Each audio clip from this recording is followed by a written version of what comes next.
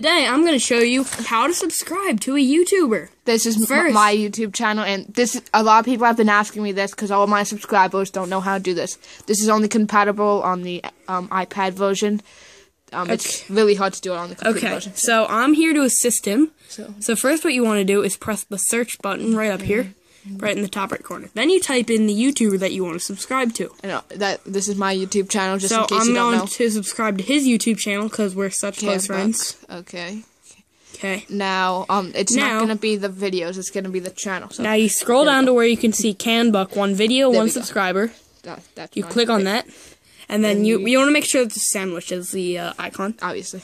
Then you press subscribe. Right, there we go. There we go. See, that easy now. So Get notified of every new Of video course, from this yes. channel. Of yes, course. of course. By the way, the, it doesn't have to be Canbuck. You you can use this. You can use this trick on any no, you- YouTuber. You can't. You can't. It's only Canbuck. Canbuck is the only um YouTuber you can subscribe to.